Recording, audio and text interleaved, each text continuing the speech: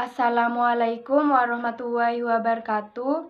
Saya Rusmiati NIM 51 perwakilan dari kelompok 7 akan menjelaskan tentang inflammatory bowel disease atau IBD. Penyakit radang usus atau inflammatory bowel disease adalah sekelompok kondisi peradangan dari usus besar dan usus halus. Inflamasi tersebut membuat kerja usus terganggu dan muncul berbagai masalah yang berkaitan dengan pencernaan seperti sakit perut, diare, dan tidak nafsu makan. IBD merupakan peradangan kronis dari seluruh atau sebagian saluran pencernaan. IBD meliputi dua kondisi utama yaitu kolistis ulceratif dan penyakit Crohn. Kolistis ulceratif adalah penyakit radang usus yang menyebabkan peradangan kronis dan perlukaan atau borok pada lapisan terdalam usus besar atau kolon dan rektum. Sedangkan penyakit Crohn dapat menyebabkan peradangan pada lapisan seluruh saluran pencernaan dari mulut hingga ke anus. Gejalanya yaitu yang pertama, nyeri atau sakit pada bagian perut. Yang kedua, penurunan berat badan. Ketiga, nafsu makan berkurang. Keempat, diare bercampur darah dan bersifat kambuhan. Kelima, merasa sangat lelah. Dan yang terakhir, mengalami mual dan demam. Penyebabnya yang pertama yaitu Pola makan dan tingkat stres seseorang bisa meningkatkan risiko seseorang menderita radang usus. Yang kedua, merokok. Kegiatan ini sangat meningkatkan risiko terkena penyakit Crohn.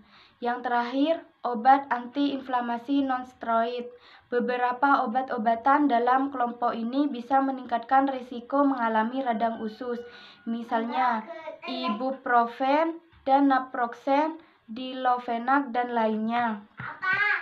Etiologi, faktor-faktor pencetus yang memungkinkan terjadinya aktivitas respon imun pada IBD adalah organisme patogenik atau yang belum dapat diidentifikasikan respon imun terhadap antigen intraluminal. Contohnya, protein dari susu sapi atau suatu proses autoimun di mana ada respon imun yang appropriate terdapat antigen intraluminal. Ada pula respon yang inappropriate pada antigen yang mirip yang terjadi pada sel epitel intestinal. Contohnya perubahan fungsi barier.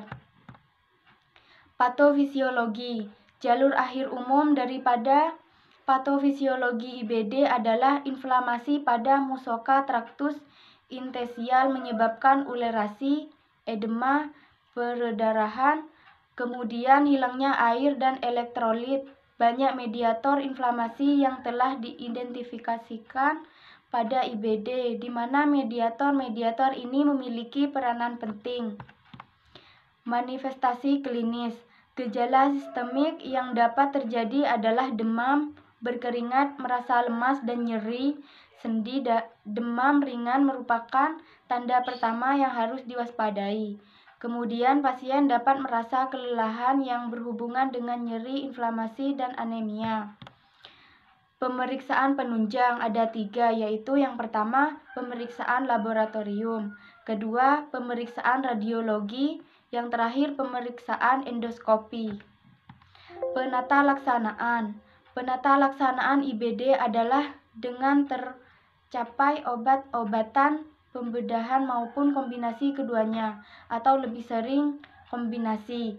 Pendekatan terapi far farmakologi pada pasien IBD yaitu terapi berdasarkan gejala dan pendekatan secara stepwise dengan obat-obatan sampai respon yang diharapkan tercapai.